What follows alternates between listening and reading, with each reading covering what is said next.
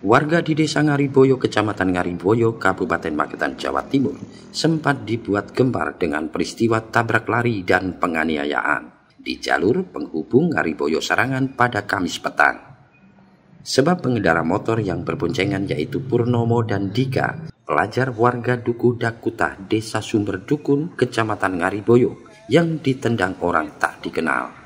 Hingga korban terjatuh dari sepeda motor dan mengalami luka serius. Akibatnya kedua korban saat ini dirawat intensif pada rumah sakit di Madiun dan Sulu. Korban mengalami patah tulang tangan, rahang, dan tulang belakang. Atas kejadian tersebut, petugas Satreskrim Polres Magetan yang bergerak cepat berhasil membekuk pelaku yang kabur. Tidak kurang dari 24 jam. Hingga diketahui pelaku bernama Ali, warga Simo, Kabupaten Ngawi. Angga Perdana Kasat Reskrim Polres Magetan menjelaskan, pelaku nekat melakukan aksi tersebut karena diduga istri pelaku usai bertemu dengan kedua korban.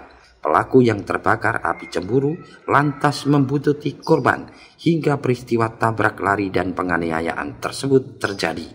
Saat ini pelaku masih menjalani pemeriksaan di unit 2 Satreskrim Polres Magetan. Polisi juga mengamankan rekaman CCTV di lokasi kejadian, sepeda motor korban, dan beberapa lainnya sebagai barang bukti.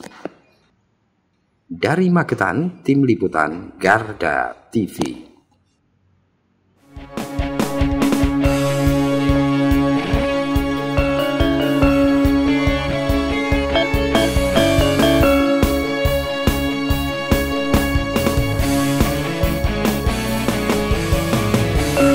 revolution. Rookie.